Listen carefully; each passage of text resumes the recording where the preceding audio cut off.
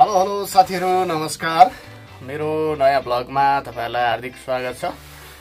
आज चाहिँ म भोजपुरको शनिबारे हटिया जान गइरहेको छु। शनिबारे हटियाको अवलोकन गर्नलाई गइरहेको छु साथीहरू। र अब दैनिक प्रयोगमा आउने तरकारी चामल खरिद गर्नलाई गइरहेको छु साथीहरू। मेरो ब्लगलाई सुरुदेखि अन्तिमसम्म हेरेर साथ दिनुहोला। र यदि तपाईँ च्यानलमा नयाँ हुनुहुन्छ भने हाम्रो यस च्यानललाई सब्सक्राइब गर्नुहोला र नजिक रहेको बेल आइकनलाई टच गरी अल नोटिफिकेसन अन गर्नुहोला। साथीहरू आउनुहोस्। हाम्रो भोजपुरको शनिबारे हटिया तपाईँलाई म देखाउन लागिरहेको छु। ल साथीहरू बाहिरको भ्यू चाहिँ यस्तो छ। आज चाहिँ पानी पर्न खोजिरहेको छ है साथीहरू।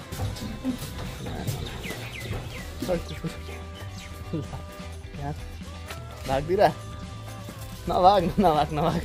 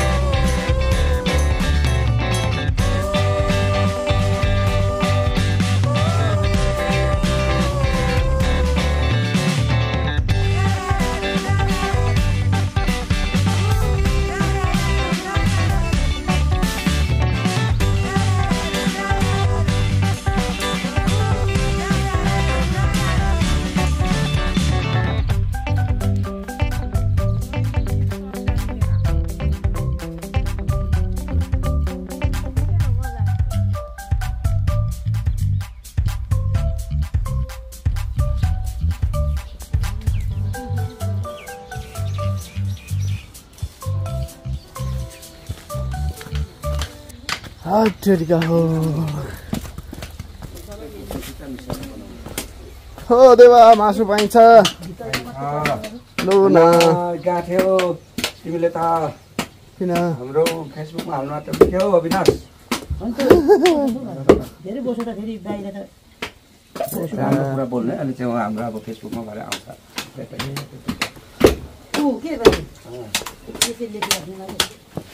लेखिराख्नु पर्ने हो। ल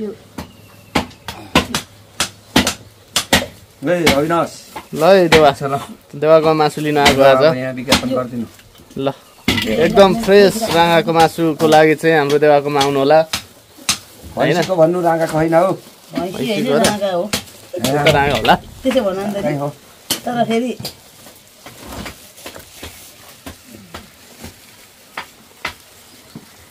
लेख्नु लेख्नु न बाजे एक एक केजीको चाहिँ फेरि बाजेले अरू पनि लेख लेख्नु पर्यो मैले अरूको त दिएको छु नि। त त्यो एक केजीको चाहिँ दिएको छैन एक केजीको बाँकी भाजा बाजे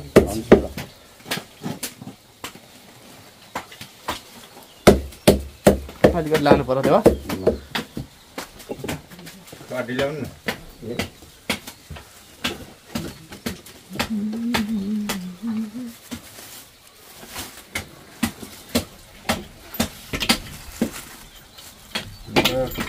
जान्छ। आधी केजी। काट्ने हड्डी अलिक राम्रो कतातिर गन्छ।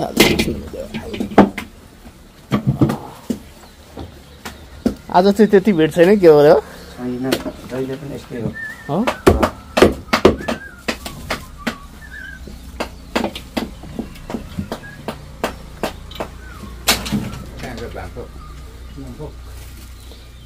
काटिदिनु ल देवा काट्ने छैन। र। हो।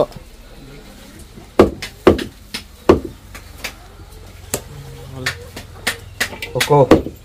अविनाश ओडा सालासी बानौ रहेछ गएर खोक्सुङ कुङयाङ देउराली। देउराली किरात मासु पसल।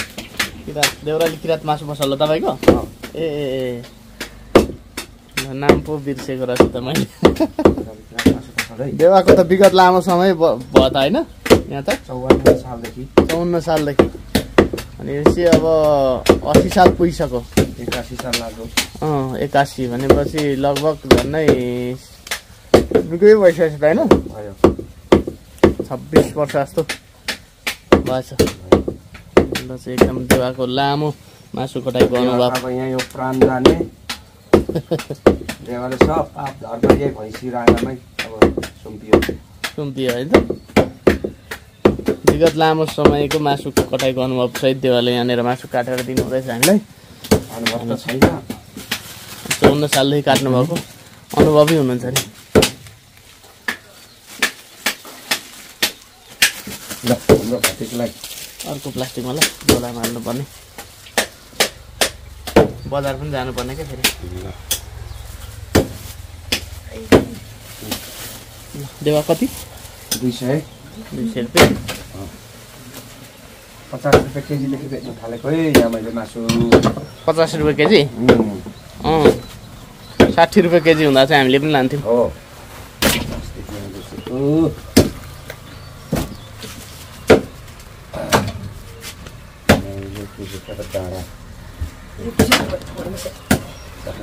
देवा पैसा लिँदै ल ल यो भटमासे भन्छ है यो भटमासे भटमासी भन्छ त्यसलाई? भटमासे लु देवा लागाइ। ल। ल। ल म चाहिँ मासु लिएर निस्किसकेको छु है साथीहरू। त्यहाँ होला त।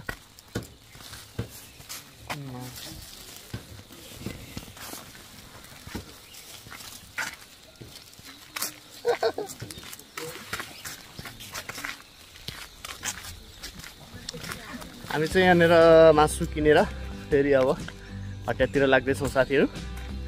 तपाईँले देख्न सक्नुहुन्छ पछाडि बर्खाको समय भएकोले एकदमै हरियाली देखिरहनु भएको छ मकैको बिरुवाहरू पनि देखिरहनु भएको छ।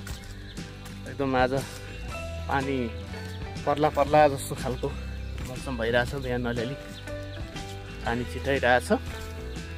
यस्तै छ साथीहरू भ्लग निरन्तर हेरिरहनु होला।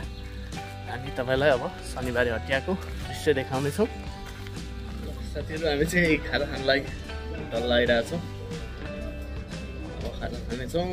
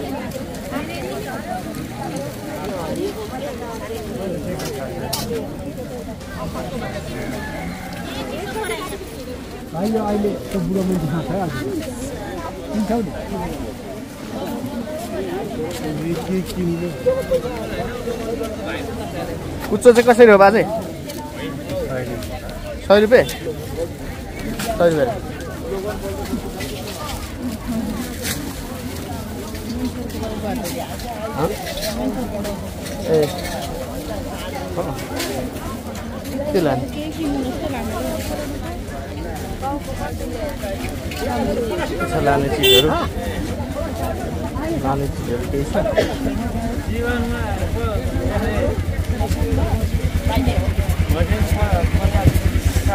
हँ?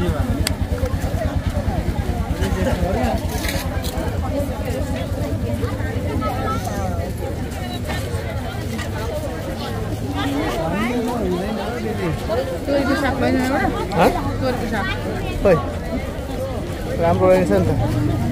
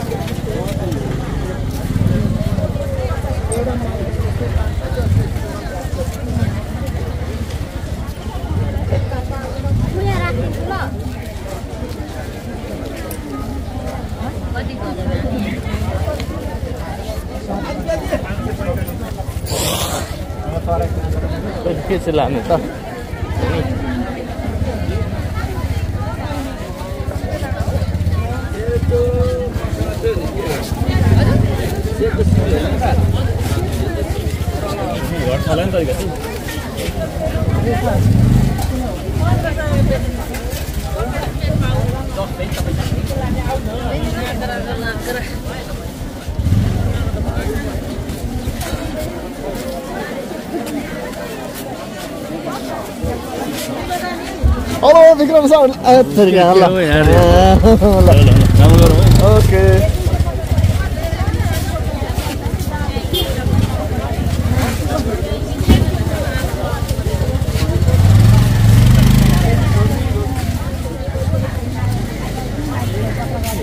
गेनिङ सुरु प्रतीक्षा मिस नमस्कार होइन चामल ल्याउनु भएको छ कि छैन त्यहाँ सोध्यो थिएँ तपाईँलाई के अरे कहाँबाट लिनु। ओ अस्ति घरबाट ल्याएको थियो एकचोटि अनि त्यस पछाडि लिएकै थिएन कसरी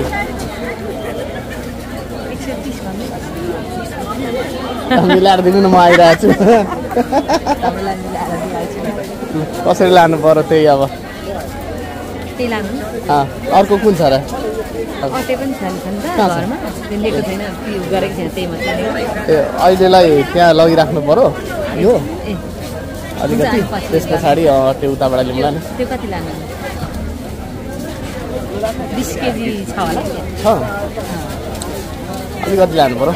चार पाँच केजी अनि उताबाट ल्याउँछु अट्टेको ल्याउँछु नि। प्लास्टिक लुजोक दिनु नि त आउनु। साउजी के हो तपाईँ चाहिँ टमाटरमा लुगा छैन तपाईँको अहिले मेरो लुगा छैन के भयो? लाएको मात्रै छ? खोइ बेच्ने लुगा छैन त। छैन। ए छोडिदिनु भयो?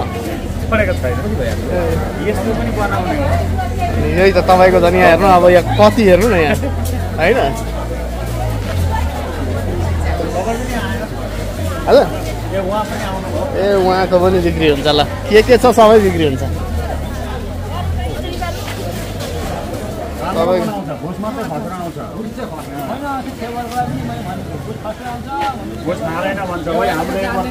होइन कुट्नु जान्दैन मिलाउनु जान्दैन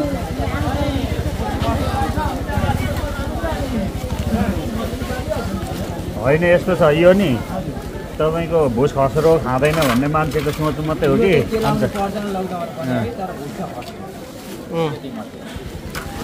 यो नकेलाउनु पर्छ ल प्रतीक्षा मिसकोमा फलेको खोर्सानी हरियो खोर्सानी ल ल ल साथीहरू कतिले खोर्सानी चाहियो भने सिधै यहाँनिर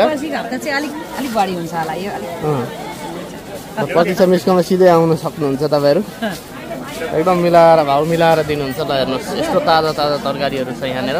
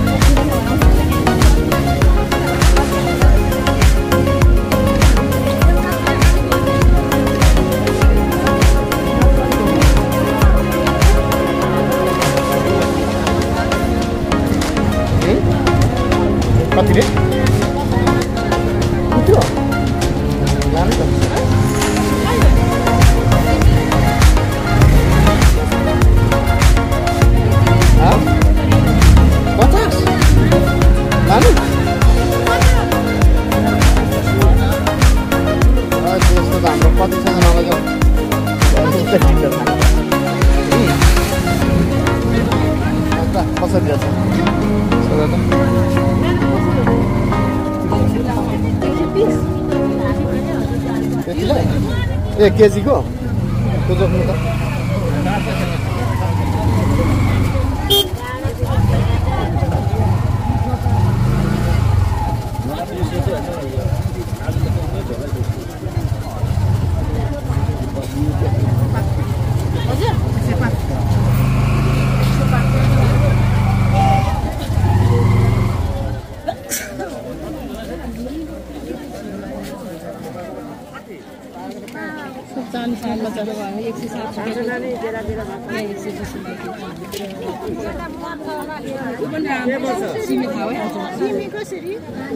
साठी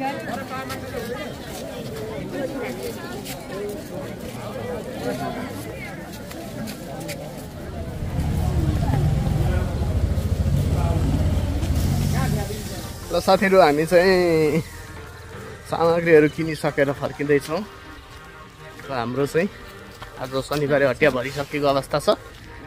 हाम्रो चाहिँ चाहिने सामानहरू किनेर हामी फर्किँदैछौँ साथीहरू। आजको भ्लगबाट बिदा हुन चाहन्छु। नमस्ते।